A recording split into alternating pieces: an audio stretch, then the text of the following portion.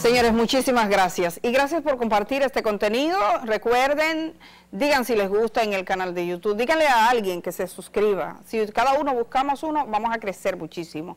Para hacer de esta una plataforma donde se puede decir la verdad a cualquier hora. Y cualquier sugerencia, la que sea, ustedes me la pueden mandar. Periodistaditfebles.com. Aquí nos encontramos el próximo lunes. Muy agradecida de todos ustedes. Y por supuesto para traerles contenido lo más apegado a la verdad posible.